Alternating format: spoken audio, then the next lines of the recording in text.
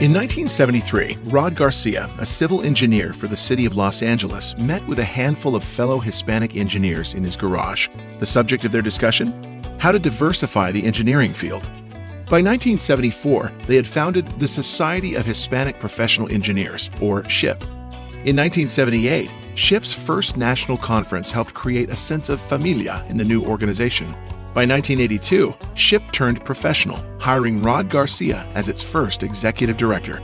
As SHPE grew, chapters sprang up around the country. In 1987, SHPE was invited to speak to Congress.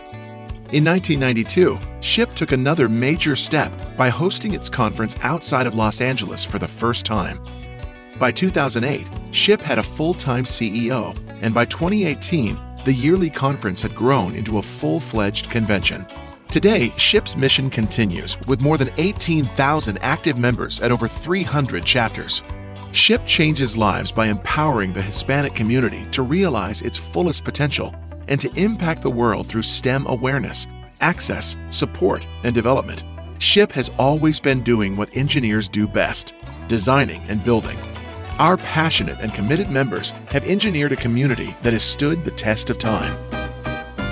2024 marks our 50th anniversary and a time to celebrate with SHPE Fiestas in 10 different cities, membership drives, and parties in a box for celebrations nationwide, member stories and SHPE history captured and shared, and a 2024 National Convention in Anaheim.